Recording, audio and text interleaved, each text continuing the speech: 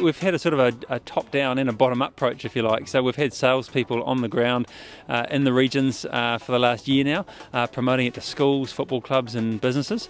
And then we've obviously had the sort of top-down marketing strategy where we've been advertising on TV, radio, etc. So, um, and obviously the goal is to fill all the stadiums because there's nothing better than uh, these players playing in front of uh, full crowds.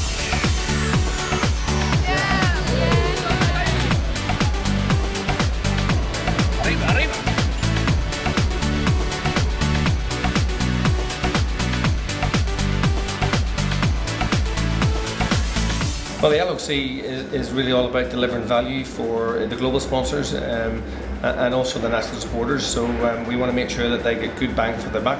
And we want to make sure that they, they certainly get engaged, they, the, the staff and the customers come to the games and that we have lots of activations. I know with the likes of Rothbury, they're doing stuff in the fan zones and the favourite pitches.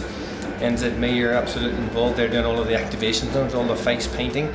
So they're absolutely into the tournament. You know, they haven't just sort of paid the money and got some corporate hospitality. They're actually actively involved in, in trying to make the tournament even better.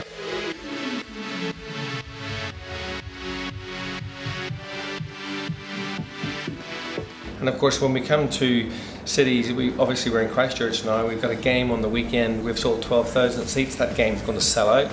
So you know, it's, it's hot dogs, it's t-shirts, it's beanies, and uh, definitely beanies because it's, it's cold tonight.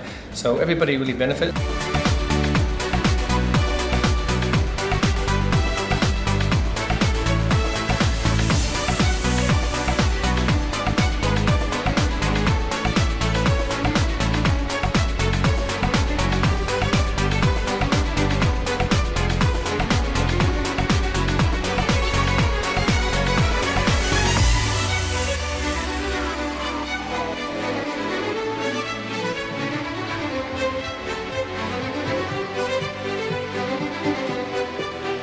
Transmitiendo desde Colombia aquí a, a Cali, Colombia.